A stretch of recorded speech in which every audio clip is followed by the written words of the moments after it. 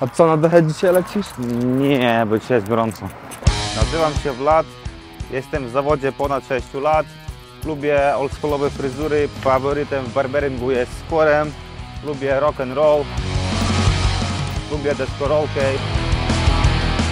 Okej, Lubię właśnie takich dojebanych klientów jak Pirat. A, Kurwa, gacie mi spadają, muszę sobie zawiązać. A co, Wlad, twoja miejscówka nowa? Tak, to, to jest moja nowa miejscówka. Proszę bardzo, możesz siadać, to jest moje miejsce. Kosmetyków mam sporo.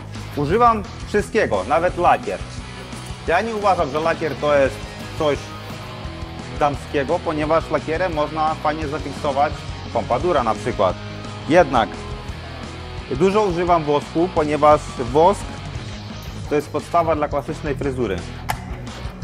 Yy, używam dużo pudry, ponieważ coraz więcej modernistycznych fryzur. Yy, również mogę użyć czasami śliny. Już mówiłem, że jestem fanem Skorem, dlatego moją ulubioną marką e, pomady jest holenderski Ruzel.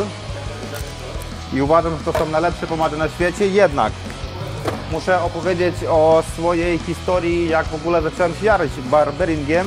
I to się zaczęło od fajnych filmików od Aperkata. Oni mają takie fajne filmiki, deskorolka, motocykle, dziary.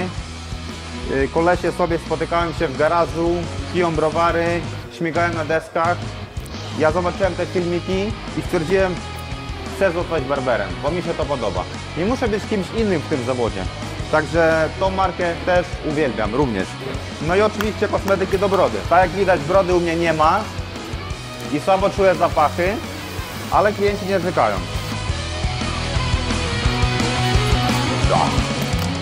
Używamy olejki, pianki, yy, boski do wąsa, balsamy, no wszystko. Świeży i szybki mordo. Jo, mordo, dobra fryzureczka. Dziękuję bardzo. Patrzcie jaka fryzurka. Ja to zrobiłem. Mordenizm. Mordenizm to fryzura dostosowana do mordy. Zapraszam ponownie. Siedzi. Siedzi jak stary w Włosy wannie. fresh, broda fresh. Siedzi jak wyseczka. stary w wannie, mordo. Zajebiście. To dawaj, jak będzie normalna pogoda, nie będzie tak gorąco, to pojedziemy na desce. Dobra. chillowo dookoła warty, bez jakichś tam mocnych trików, wiesz.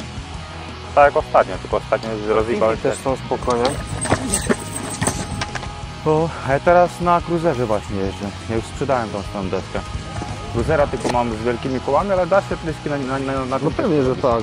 Kiedyś Tylko właśnie slajdy chujowo się robi, bo, bo koła miękkie i wielkie. coś za coś. Sergiej, powiedz mi, czemu na desce jeżdżę ja, a kontuzję masz ty? Jak to jest możliwe?